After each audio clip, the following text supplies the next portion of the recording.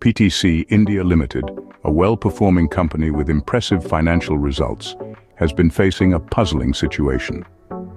In the quarter ending September 2021, the company reported an encouraging 18.5% year-on-year net profit increase of Rs 114.6 crore and a 29.4% revenue increase of Rs 4,794.9 crore. It even declared an interim dividend of Rs 4 per share for the financial year 2021 to 2022. However, despite these favorable outcomes, the company's share price began to plummet at the start of this year. On January 11, 2024, the share price closed at Rs 189, showing a 2.47% drop from the previous day and a staggering 17% drop from the first day of the year.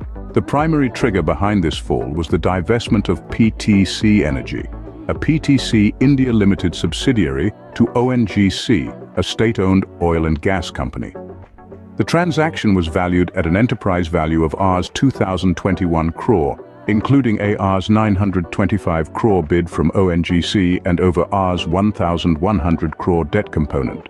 This debt will be transferred to ONGC upon completion of the transaction. This divestment is supposed to render PTC India limited debt-free. However, analysts and investors are skeptical about the logic and valuation of the deal.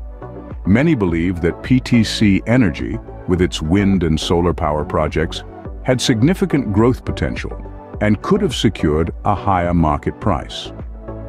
The timing of the deal is also under scrutiny, considering the current boom in the renewable energy sector both in India and globally.